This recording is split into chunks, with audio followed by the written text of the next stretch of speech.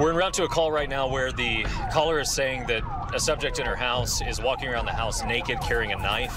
and that he has, for some reason, tied a shoestring around his penis.